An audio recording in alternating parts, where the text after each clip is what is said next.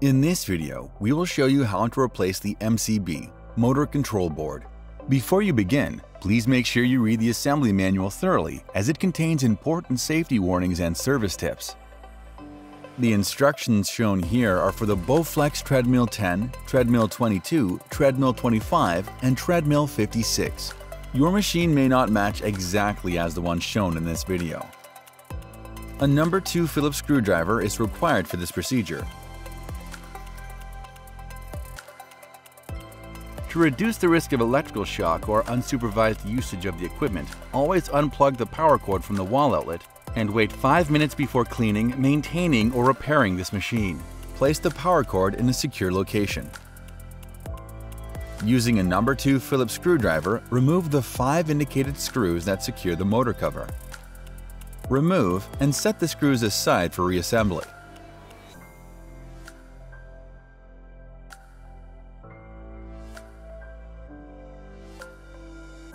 To assist with reassembly of the motor cover, the two front screws are short.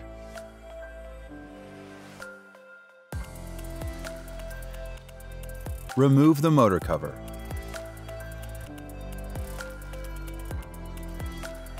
Next, remove the connectors from the motor control board after noting their locations.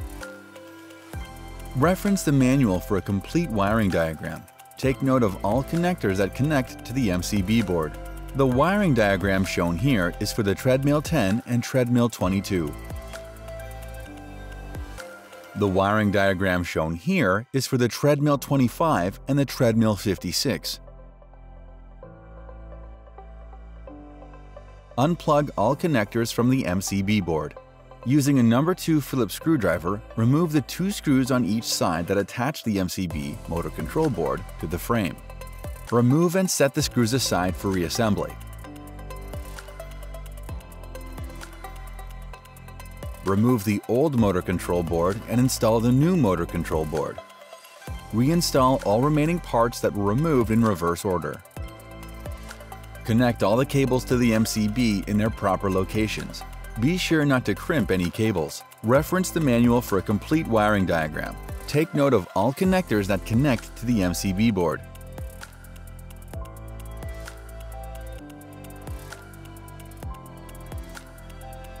Connect the cables and reinstall all previously removed parts.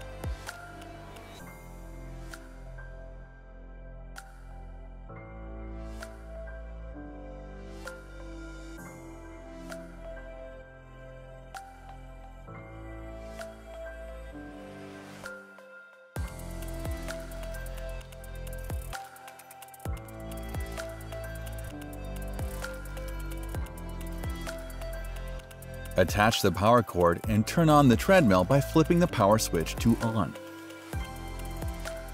Time to calibrate the treadmill. From the Power Up screen, tap on the upper right corner of the console display 10 times. The console will display the Advanced User Actions menu. Tap on the Assembly App option. From the Assembly App menu, tap Calibrate in the upper right corner of the console display.